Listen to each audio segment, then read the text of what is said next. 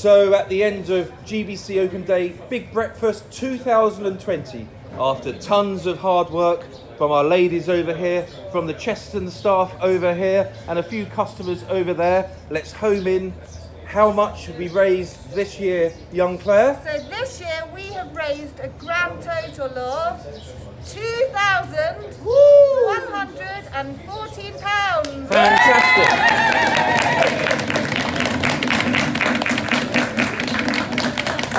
£2,114, Mr. Bacon Chef.